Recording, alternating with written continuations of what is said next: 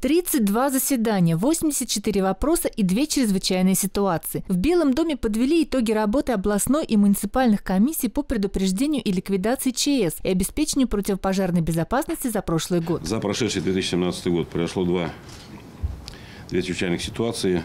Одна техногенного характера – это автобус с мигрантами на ЖД-переезде. Помните эту печальную историю в Женском районе. И одна биолого-социального характера – это африканская чума свиней в Гороховецком, Гусь-Хрустальном и Петушинском, Петушинском районах.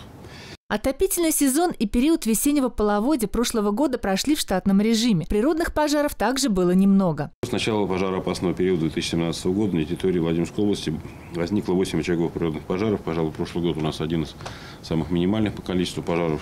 Безусловно, в этом плане нам способствовали погодные условия.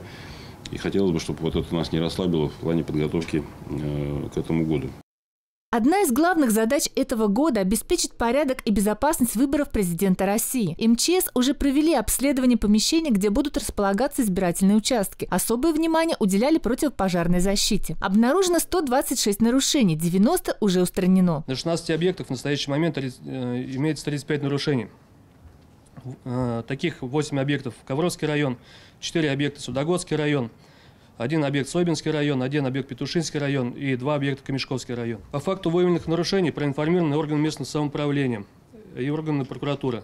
Э, собственниками объектов выдан, выданы предостережения. Во Владимире на избирательных участках установят 106 рамок металлоискателей. В МВД создана рабочая группа, которая будет заниматься в том числе охраной изготовления избирательных бюллетеней. Посты охраны выставят в день завоза бюллетеней во всех помещениях для голосования. Татьяна Гордеева, Дмитрий Шаталов, Губерния 33.